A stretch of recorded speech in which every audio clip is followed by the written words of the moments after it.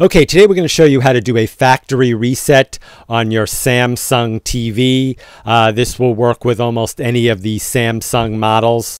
Since you're watching this video, you're probably having some sort of problem with your Samsung TV and want to reset it uh, so you can get it working again. Now, I am going to show you in a second how to do that factory reset.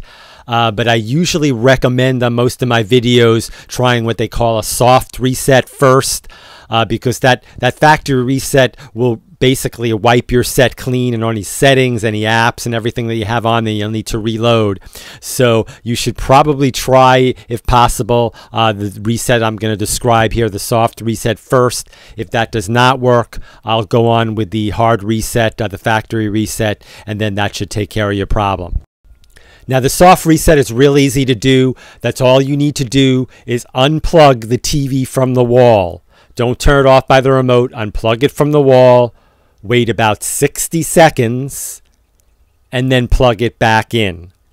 In most cases, this will solve, believe it or not, a lot of your problems. Okay, if this doesn't take care of your problem, uh, then you can do the factory reset. We're going to show you how to do that now.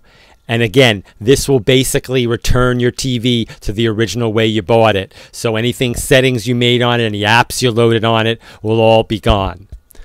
Press the home or menu button on the remote. Go to settings. Go to support. Go to self-diagnostics. And then hit reset. It will take quite a while for this uh, reset to occur, usually a few minutes.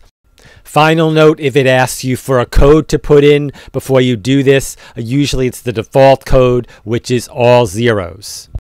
That's our video for today. As always, thank you very much for watching, and please remember to subscribe.